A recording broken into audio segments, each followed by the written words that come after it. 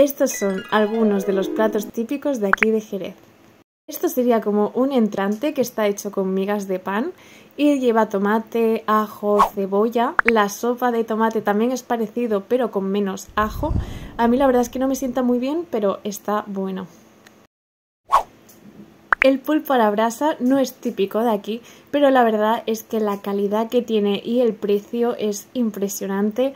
La verdad es que se nota un montón que es fresco, aparte las patatas de aquí de San Lucas son buenísimas, así que os lo recomiendo. La berza también es muy típico de aquí, es un cocido que lleva mucha sustancia, a este de aquí le faltaba un poco de cariño, pero la verdad es que está buenísimo, también os lo recomiendo. Esta tapa también se pide muchísimo, a mí es que todo lo que lleve ajo y cebolla me sienta fatal, pero bueno, es un clasicazo.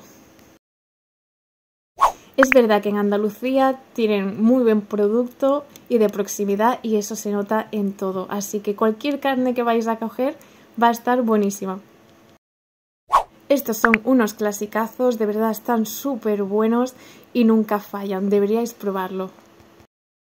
Es verdad que los caracoles se comen en muchos sitios, pero aquí lo que me llama la atención es que se lo comen a cualquier edad. Si os ha gustado este vídeo y queréis más, dejadme en los comentarios.